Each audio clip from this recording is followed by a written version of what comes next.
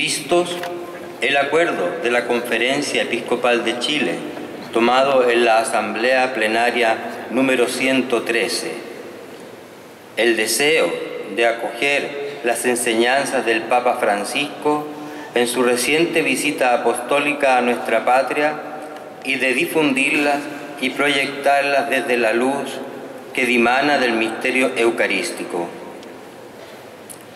La necesidad de, promover con mayor fuerza la Eucaristía, fuente y cumbre de la vida de la Iglesia, que peregrina en Santiago y de cada uno de los fieles, comunidades e iniciativas apostólicas.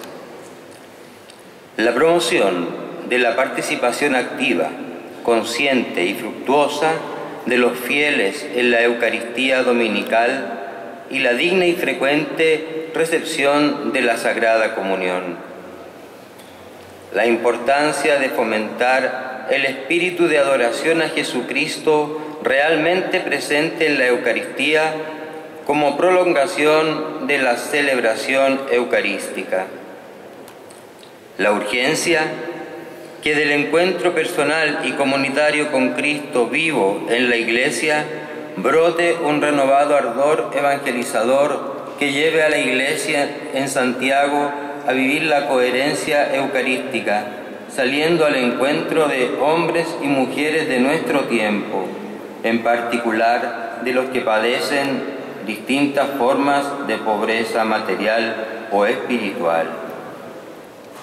Y lo señalado en los cánones 897 y 898, decreto. Primero, la celebración de un Congreso Eucarístico Arquidiocesano bajo el lema ¿Qué haría Cristo en mi lugar? cuya preparación comenzará el jueves santo y continuará durante el año pastoral 2018, culminando en la celebración de la solemne Eucaristía llamada Fiesta de Comunión, con participación del clero y fieles el sábado 7 de noviembre de 2018 en el Santuario Nacional de Maipú. Segundo, foméntense todas las iniciativas adecuadas para llevar a cabo los fines y motivaciones del Congreso Eucarístico Arquidiocesano en comunión con el Congreso Eucarístico Nacional incorporando el espíritu de este acontecimiento en las diversas actividades de nuestra arquidiócesis, tales como las festividades e iniciativas que aquí se enumeran. Corpus Christi, Asamblea Sinodal, Día de Santificación del Clero, San Pedro y San Pablo, Semana Teológico Pastoral, Mes de la Solidaridad, Mes de la Familia, retiro de presbíteros de la arquidiócesis, liturgias penitenciales, seminarios sobre la Eucaristía en diversos templos, promoción de la adoración perpetua y otras maneras de piedad popular.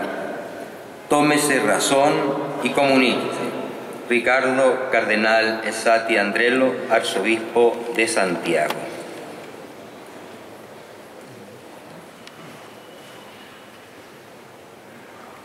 En estos momentos, nuestro pastor firma el decreto que convoca en Santiago al Congreso Eucarístico.